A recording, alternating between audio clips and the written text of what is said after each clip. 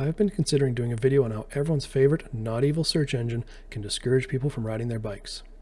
I'm still considering a longer video showing a number of ways that Google makes driving easier but can make riding a bike more difficult. That isn't completely Google's fault, as cities in North America prioritize driving, and safety riding a bike is much more difficult. However, in this short video, I want to show an example of Google prioritizing cars and completely forgetting about people on bikes. Let's use a hypothetical situation to demonstrate the issue. Let's pretend the two people who watched my video, where I took my mom and my cargo bike for donuts, are craving something sweet. They're in an unfamiliar part of the city when they realize my favorite donut shop is nearby. But when they arrive at the donut shop, it's closed. They pull out their cell phone, search for another nearby bakery, and get directions to a pie shop not too far away. The person who drove will see these suggested routes to the pie shop. There appears to be a more direct road, but they'll follow their GPS. Five minutes later, they'll be eating pie. The person who rode a bike will see these directions. They think they'll be eating pie in four minutes. But about halfway to the pie shop, the person on the bike will have a problem. My city is building a new LRT line along this road, and the bridge needs to be rebuilt.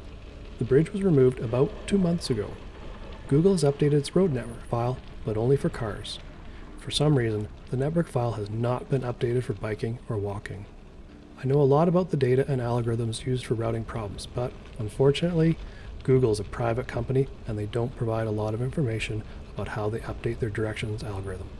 All I can say is that it appears that cars are prioritized over active transportation, and this can discourage people from walking or biking. At least one other company is doing the same thing as Google.